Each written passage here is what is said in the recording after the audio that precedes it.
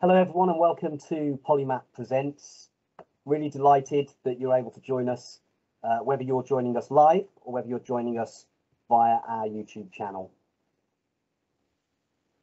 We've got a, a, a range of presenters we're going to be introducing you to this evening, uh, coming from uh, various parts of the education sector.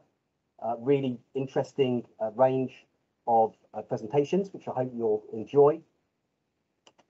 This is the lineup. So uh, we're going to start very shortly with Tim Plum, who's the CEO of PolyMAT. He's going to be talking about uh, PolyMAT's commitment to unity, harmony, and inclusion, which is obviously the title of this event.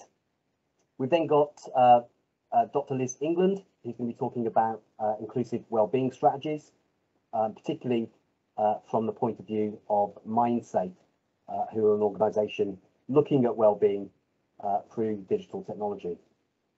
Then we'll have Hannah Jepson, who is the founder of LGBT Ed and um, a successful author. Uh, Sufyan Sadiq will be joining us a little bit later on. Uh, Andre Skeppel, Alistair Semple, Kiki Nati.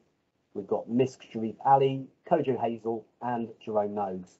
So a real range of speakers. You can see the different topics there, and we're really looking forward to each and every one of them.